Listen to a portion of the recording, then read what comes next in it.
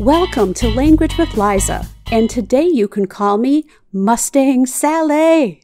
No, don't do that. We're talking today about the glorious and much lied about Mustang Express. There weren't really any ponies in the Pony Express. Let's call that lie one. Started in 1860, the Pony Express covered a route through eight states Missouri, Kansas, Nebraska, Colorado, Wyoming, Utah, Nevada, and California. Lie 2.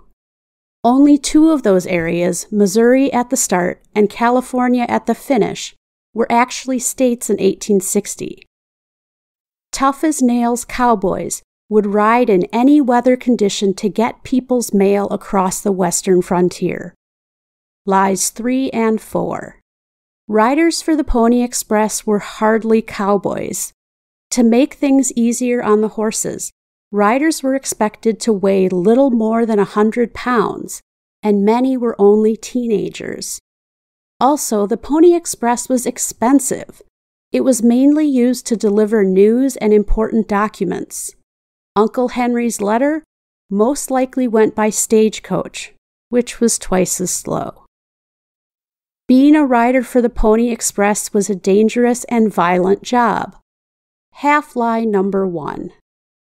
Riding for hundreds of miles across the wilderness was certainly dangerous. But violent? Most riders stated that the biggest threat they faced was freezing to death on their rides. So, why is the Pony Express so lied about and misunderstood? It was a fantastic and romantic enterprise that people loved talking about. The idea that men would go to such extraordinary lengths to let people communicate was fascinating.